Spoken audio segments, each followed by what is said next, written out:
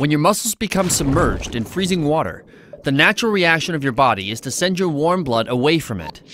The rush of blood away from the source of cold carries away some of the lactic acid in the muscles that is built up as a result of your intense exercise, and which will cause that aching, stiff, and generally unpleasant feeling of soreness if it remains there.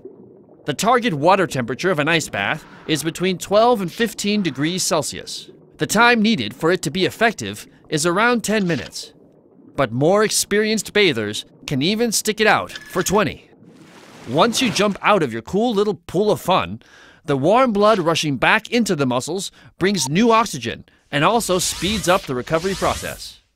The science behind the concept is far from certain, but many footballers swear by it, and some scientists seem to think that it can decrease soreness by up to 20%.